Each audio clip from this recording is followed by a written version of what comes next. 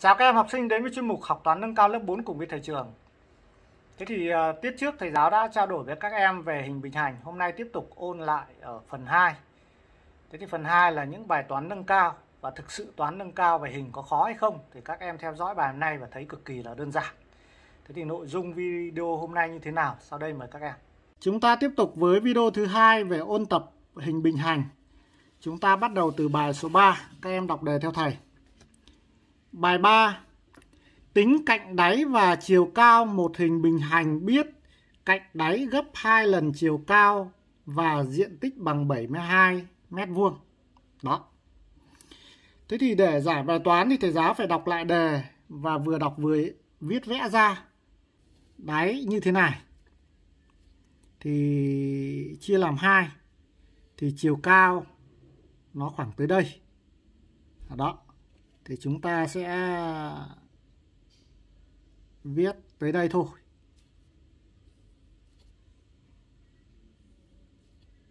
Thế và chiều cao này này, chính là một phần. Đó. Và diện tích là 72 S bằng 72 mét vuông. Thế thì vấn đề bây giờ là người ta tính là cạnh đáy bằng bao nhiêu? Chiều cao bằng bao nhiêu? Đó. Thế thì các em thấy là bình thường một bài toán thì người ta cho biết diện tích và cho biết đáy để tính chiều cao, hoặc cho biết diện tích, cho biết chiều cao để tính đáy. Nhưng trong bài toán này người ta chỉ cho biết diện tích, không cho biết đáy là bao nhiêu, không cho biết chiều cao là bao nhiêu. Nhưng người ta lại cho biết là đáy thì gấp hai lần chiều cao. Đấy. Thế thì chúng ta dựa vào cái điều kiện như thế để chúng ta tìm cách giải. Tìm cách giải. Mà cách giải thì phải dựa vào cái chỗ là đáy gấp hai lần chiều cao. Đó. Thế thì bây giờ vấn đề là chiều cao bằng 2 phần.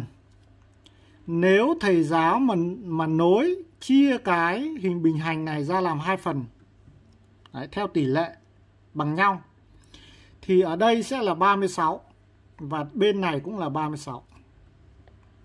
Đó, 36. Như vậy như vậy bây giờ là gì? Đây là chiều cao. Chiều cao nhân với một nửa đáy thì cũng chính là nhân với bằng chiều cao. Thì bằng 36. Thế thì ở cái điều kiện này các em học về hình vuông rồi, biết diện tích hình vuông ta suy ra cạnh thì sẽ là chiều cao chiều cao sẽ bằng 6. Vì sao? Vì 6 nhân 6 thì bằng 36. Đó, chúng ta sẽ suy luận ra như thế và chúng ta tìm được chiều cao bằng 6. Và khi tìm được chiều cao bằng 6 rồi thì chúng ta sẽ tìm được đáy. Đáy gấp 2 lần thì nhân với 2. Bài toán rất là đơn giản như vậy. Đó, bằng một cái động tác chia hình rồi suy luận. Chứ chúng ta không cần phải tính toán nhiều. Thì đấy là nội dung thầy giáo muốn trao đổi với các em ở cái bài này. Thế bây giờ chúng ta trình bày bài thì chúng ta trình bày như thế nào? Với một bài hình thì bao giờ chúng ta cũng nên vẽ ra đã, đúng không? Chúng ta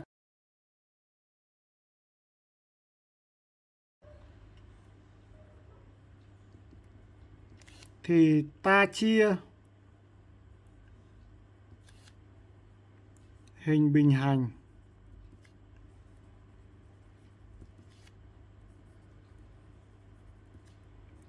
Thành hai hình.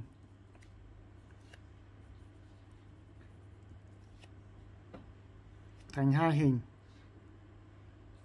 Theo tỷ lệ đáy. Theo tỷ lệ một phần đáy. Có diện tích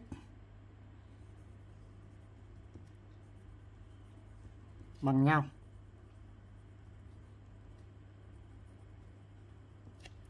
Đó. Thế thì bây giờ chúng ta sẽ có diện tích của một hình.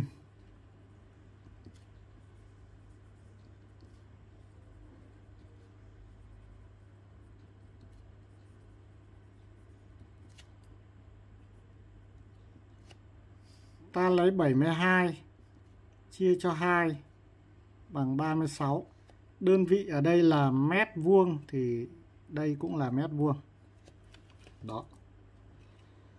Mà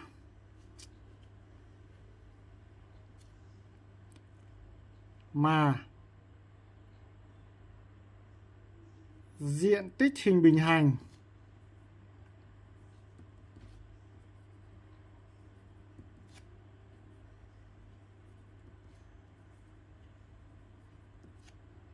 Thì bằng đáy nhân chiều cao. Đó. Mặt đáy bây giờ đáy mà đáy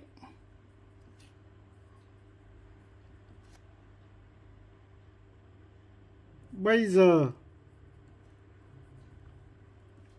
bằng chiều cao.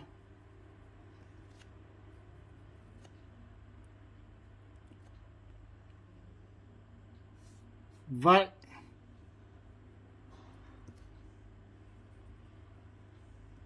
chiều cao bằng 6 mét. Các em giải thích vì 6 nhân 6 bằng 36.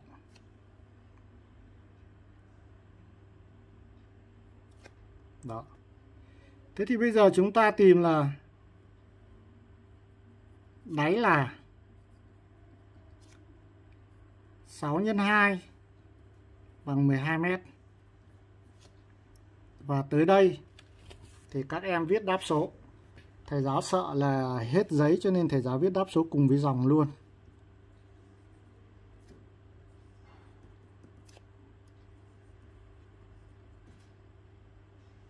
Đáy là 12 mét. chiều cao 6 mét thì đây là một cái bài toán cũng ờ, không có gì là phức tạp lắm. Chỉ là cái cách mà các em tư duy thôi. Đó, cái cách các em tư duy. Thế còn bây giờ chúng ta sang bài 4 đây là bài 3 bài 4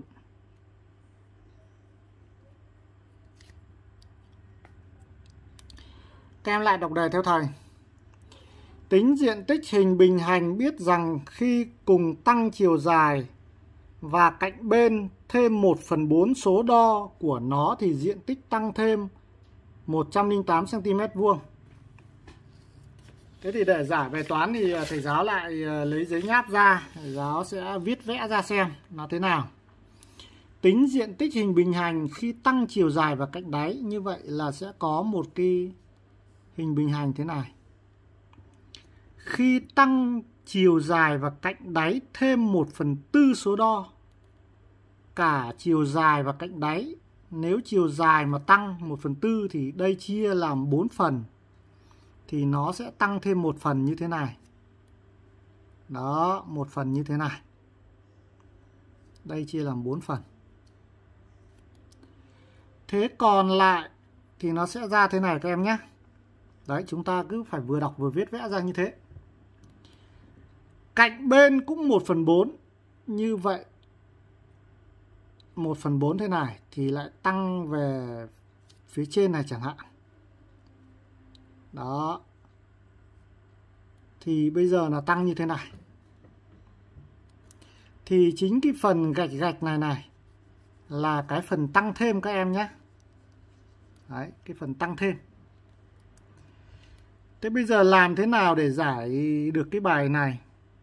thì nếu thầy giáo chia cái hình bình hành này ra theo tỷ lệ đây, tỷ lệ đáy như thế này. Như thế này. Như thế này. Và như thế này. Đó. Đấy. chia theo tỷ lệ thì chúng ta sẽ được bao nhiêu hình bình hành con? Chia tỷ lệ đáy và cạnh bên đó. Thì chúng ta sẽ được là 5. Đấy, 1 phần 4 tăng lên một phần nữa là 5. Bằng 25. Đúng không? 25 hình nhỏ. Đấy, 25 hình nhỏ. Mà cái phần tăng ấy, phần tăng thì chúng ta xem 1, 2, 3, 4, 5 này, 6, 7, 8, 9. Phần tăng ấy, phần tăng chỉ có 9 thôi. Còn ban đầu là chỉ có 4 nhân với 4 thôi chứ nhá. Phần tăng là 9 và ban đầu ban đầu là chỉ có 4 nhân 4 bằng 16 hình thôi, 16 hình nhỏ thôi. Đó. Thế thì bây giờ tăng là tăng 9 hình nhá các em nhé. Tăng 9 hình mà 9 hình này thì tương ứng với 108 cm vuông. Thế thì thầy giáo hỏi là có tìm được một hình không? Đấy, tìm được một hình. Mà tìm được một hình rồi thì có tìm được 16 hình nhỏ như ban đầu không? Rất đơn giản, có đúng không? Đó. Thì đấy chính là cái cách tư duy và cách làm bài này. Thế còn bây giờ để giải được cái bài này thì thầy giáo lại phải vẽ hình ra.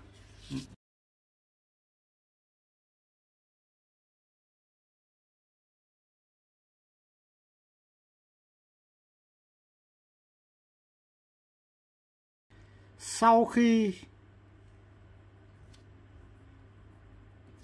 sau khi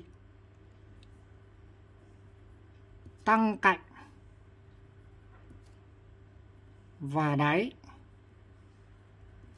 thêm 1 phần tư, ta kẻ hay là ta chia hình ban đầu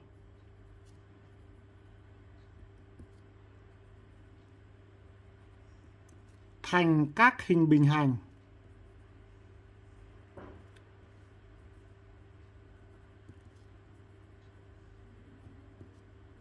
Nhỏ mà đáy và cạnh bằng 1 phần tư ban đầu, hình ban đầu đấy. Thế và các em hình dung cho là như hình bên nha thiếu giấy cho nên thầy giáo không vẽ viết nhiều thế thì các em lưu ý là gì 108 cm vuông tương ứng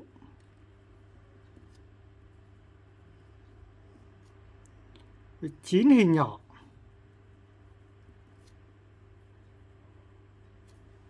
Đấy, tương ứng với 9 hình nhỏ. Thế thì diện tích hình diện tích hình ban đầu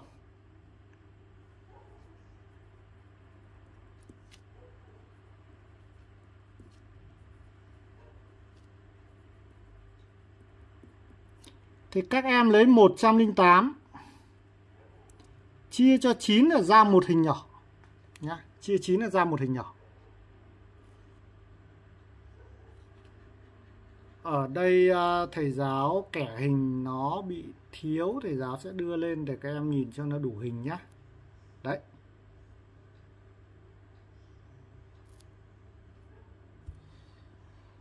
Diện tích ban đầu sẽ là 108 chia cho 9 thì ra một hình nhỏ mà cái hình ban đầu này là gồm có một cột là 4. Đó.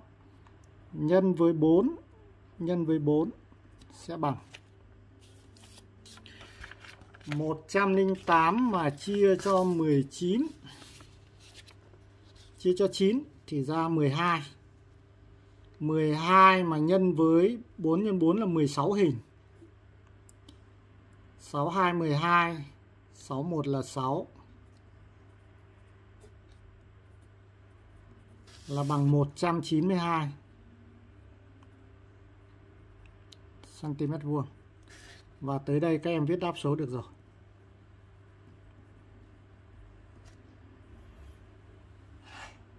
Đây là 192 đó. Thì đây chính là nội dung mà thầy giáo muốn trao đổi với các em trong bài hôm nay. Thế thì các em thấy là cái cách mà chia hình bình hành ra thành nhiều hình bình hành nhỏ nó cũng tương tự như cái cách mà chúng ta giải bài toán về hình vuông ấy. Đấy, chúng ta vận dụng. Và cái dạng này là cái dạng mà ở toán ờ, bồi dưỡng học sinh giỏi là hay có thế đấy chính là nội dung mà thầy giáo muốn trao đổi với các em trong ờ, video hôm nay Thế thì ờ, video đến đây là hết. Xin chào, hẹn gặp lại các em ở video tiếp theo. Xin chào.